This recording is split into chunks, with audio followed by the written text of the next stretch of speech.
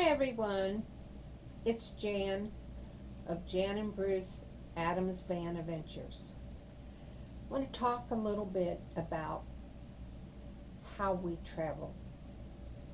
And I don't mean how we travel in our van or how we travel on a cruise ship or anything else, but how we travel to get to all the places we go to. Bruce and I are retired, so we more or less have all the time in the world. And what we like to do when we leave home is to drive and do a circle tour. So if we're going down to Florida to go on a cruise, we'll go down 75 and then switch over to wherever we need to go to get the cruise line. And then we come back, we will go a different route. Maybe we will go up through North Carolina.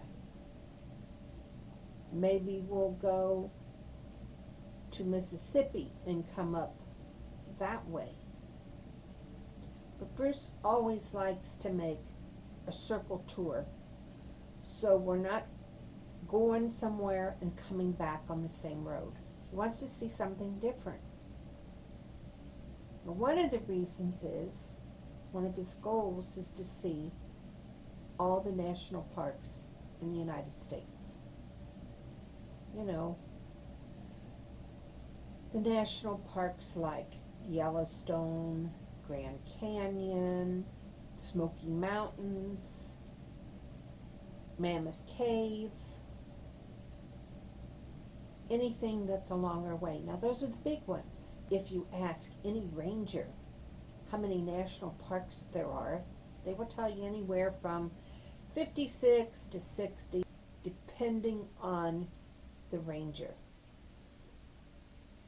Now if you include national parks, national monuments, national rivers, national trails, national wildlife preserves, anything that has national in front of it.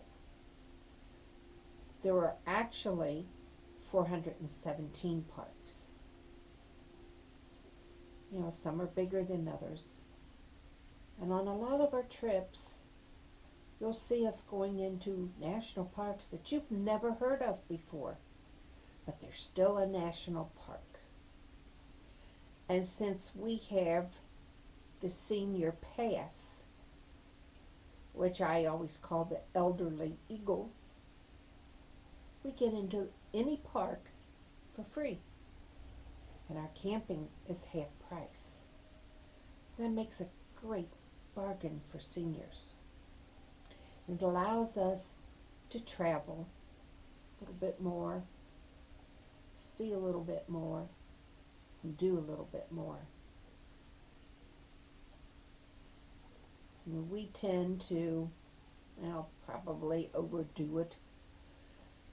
But when we leave, we like to see a lot of things. And a lot of times they're things you all have all told us, I never heard of that before. I didn't even know that was there. Those are the things that we like to go see. Places that we're sure that you haven't seen either. Now as far as our goal is, I think we're about 90% of the way. So we're getting closer and closer to seeing all the national parks in the United States. The only problem is, is that the presidents keep making new national parks every year. And so we get behind again. They'll add about maybe five to ten national parks every year.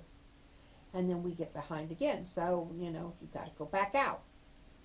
Well, you don't have to, but we like to.